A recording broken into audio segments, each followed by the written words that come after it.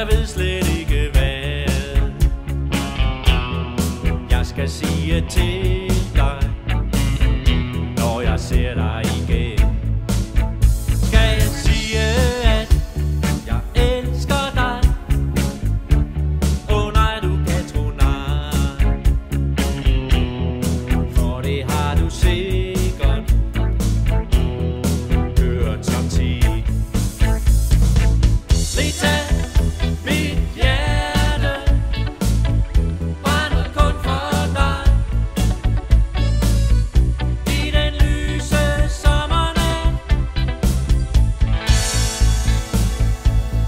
Swim the forme.